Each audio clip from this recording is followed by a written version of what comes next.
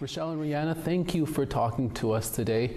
Richelle, we'll start with you. Tell me how you are feeling to finally get this decision changed from accidental to undetermined. Well, it's been a long nine year fight.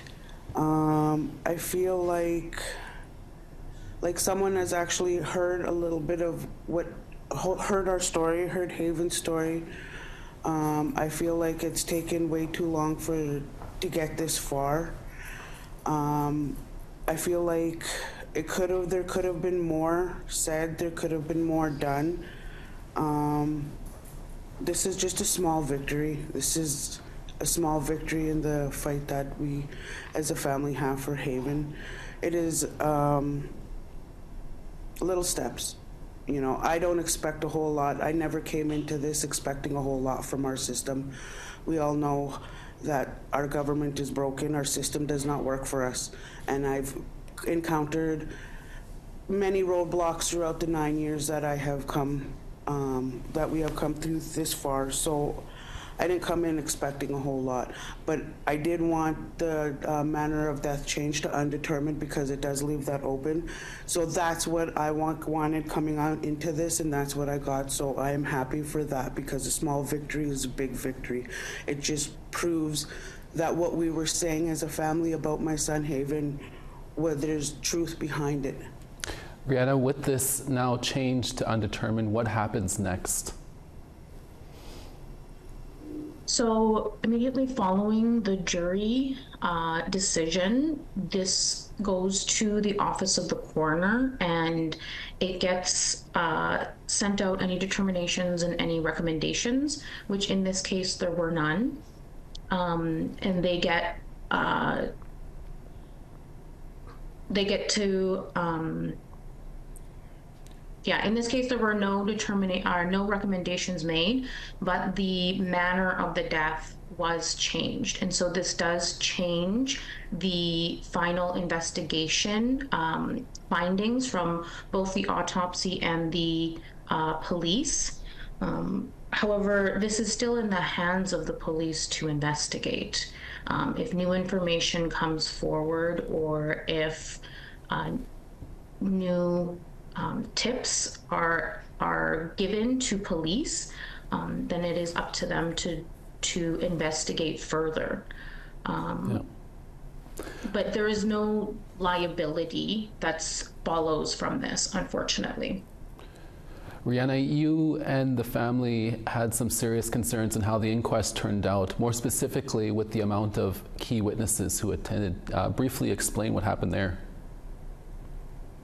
There were a number of witnesses, four in total, who were not able to be served with their uh, summons to attend as witnesses. Uh, one in particular um, had some very key information, and the family has always maintained that something happened to Haven. Um, for a young boy to die suddenly um, it's just too suspicious. Um, and one of the main issues that we had is how long this coroner's inquest took uh, to be held. Nine years after a death is simply too long. Um, and that was one of the issues with getting information from witnesses and getting witnesses to attend. Yeah, and on day two, Richelle, you also walked out of the inquest upset by what was said by a doctor who spoke. Can you briefly explain what happened there? Well, I've always maintained that there was marks that were never documented in the coroner's report, and I've always said that. And so I seen a, a doctor backing up their reports and still basically calling me a liar that there was no mark on his face, that there was no marks on his arms. You know, I know what I seen that day, and I was upset that um, these marks were still not being documented or being acknowledged. And I've been saying these things for nine years that there wasn't something, it wasn't an accidental death. And, you know, um, a lot of the things that I was saying was just being um, pushed aside for so many years, and they're still being pushed aside. Um, there was a lot of things that could have been said throughout the process, but again, this is a one-sided system where we weren't allowed to bring forward other evidence regarding the case, regarding how the police investigated my son's death or the, the lack of investigation. You know, so um, I still want to put out, um, you know, for people to come forward who have information about my son because there are missing pieces there. There still are. Um, and, you know, I know that there have been other cases in the city of Regina in the 2015, like the Nadine Machiskinic case. There's other cases where our people whose sudden deaths were pointed towards accidental. Well, this is two key, key cases in the 2015. So there's got to be more. Like there can't, that whole system in 2015 in Regina, the city police, was not working for us. It was not working for Indigenous people, um, and there was way too many accidental deaths in Regina specifically.